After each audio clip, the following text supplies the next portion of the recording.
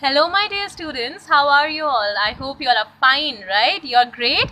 Yes. So let's start today's grammar class. And you all know this side is your teacher from SS Convent School, Pipiamo Pratapgarh. Yes. Everyone open your books. Yes. Quickly.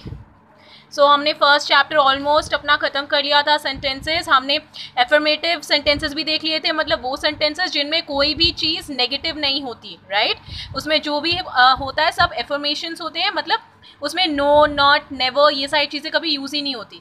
वहीं negative sentences हमने देखे जिनमें कौन से family के words use होते हैं? No family मतलब नो नेवर डोंट ठीक है? नॉट ये सारे वर्ड्स यूज़ होते हैं, ठीक है? तो हमने यहाँ तक देख लिया था एग्जाम्पल्स देखते हैं, ठीक है? So you could not have spoken this faster तो ये क्या है? You could not have spoken this faster तुम इतने जल्दी नहीं बोल सकते थे। स्टेटमेंट है ये, क्या है? Statement you could not have spoken this faster ठीक है? Now couldn't you have gone earlier तो ये तो क्वेश्चन है। क्या तुम और पहले नहीं जा सकते थे? Question do not ever come late again आगे से कभी इतना लेट मत आना। तो ये क्या है? कमांड है। Okay yes we usually use not with a verb to deny something हम यूजली जो नॉट है, वो कब यूज़ करते हैं वर्ब के साथ? जब हमें कोई चीज़ मना करनी होती है डिनाई करना होता है right we can also use words like never nowhere no none nothing and nobody मतलब बेसिकली समझ में आया ना सारे नो वाले वर्ड्स नो फैमिली के। जैसे नो नेवर नॉट फिर ऐसे इसी में नो वेयर आ जाता है नो आ जाता है नन आ जाता है नथिंग आ जाता है नो बडी राइट येस तो और एग्जाम्पल्स देखते हैं। There was no food left वहाँ कुछ भी खाना नहीं बचा था। Neighbours would give them something to eat तो नेबर्स उन्हें कुछ देंगे खाने को। ठीक है? तो वहाँ पे, यहाँ पे भी ये क्या है? ये नेगेटिव सेंटेंस है। क्यों? क्योंकि इसमें नो यूज़ हुआ right they had nothing to do the whole day उनके पास कुछ नहीं था पूरे दिन करने को। तो कुछ नहीं था नथिंग राइट इसलिए ये नेगेटिव सेंटेंस हुआ।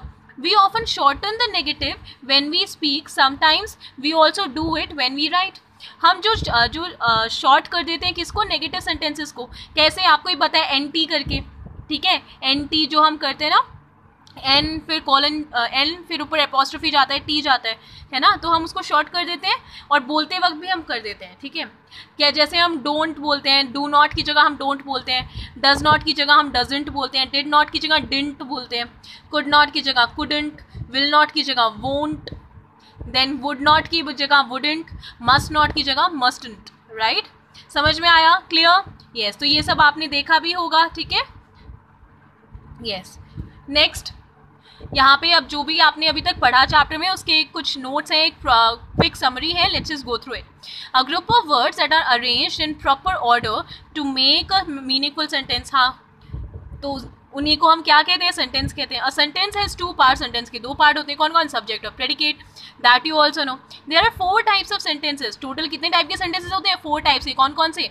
असर्टिव या स्टेटमेंट क्वेश्चन या इंटेरोगेटिव इम्पेरेटिव और इम्पेरेटिव और एक्सक्लेमेटरी सेंटेंसेस ओके क्लियर ये students now let's move on to the exercise ठीक है? हम एक्सरसाइज करेंगे। तो यहाँ पे जितने इतने क्वेश्चन हैं ना, कितने हैं? Let me see fifteen question are there okay so some I will do in the class only मतलब अभी मैं तुरंत करूँगी आपको लेक्चर देते वक्त and some I will give you homework okay yes so next day फिर मैं आपसे होमवर्क डिस्कस करूँगी okay yes let's do the first one इसमें करना क्या है? पहले ये देखो change the sentences from the negative to the positive और from the positive to the negative आपको करना क्या है? यहाँ पे जो सेंटेंसेस दिए हैं तो कुछ हैं जो नेगेटिव सेंटेंसेज हैं मतलब आप जानते हो नेगेटिव सेंटेंस उसमें पहचान कैसी होगी इसमें? नो नॉट नो फैमिली वाले सारे वर्ड्स यूज़ हुए होंगे, ठीक है? और कुछ होंगे जो पॉजिटिव सेंटेंसेस होंगे, जिनमें नो वाले वर्ड एक भी नहीं यूज़ हुए होंगे। तो आपको करना क्या है? जो नेगेटिव वाले हैं, उनको पॉजिटिव में बदलना है, वो कैसे कर दोगे नो हटा के मतलब नो फैमिली का वर्ड हटा के, ठीक है? और जो पॉजिटिव वाले उनको नेगेटिव करना है। मतलब उसमें नो वाला एक वर्ड डाल के, जो भी सूटेबल हो उसके लिए okay yes let's do the first one Alchemist by Paulo Coelho by Paulo Coelho is a good book Alchemist जो कि पोलो कोल्हो ने लिखी है, एक बहुत ही अच्छी बुक है। तो अब हमें नेगेटिव क्या बोल सकते हैं? कि वो अच्छी बुक नहीं है तो बस वही ऐड करना है। तो लिख दो।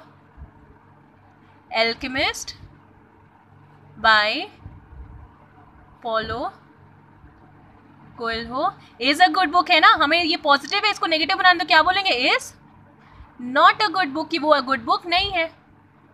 समझ में आया? Yes yes.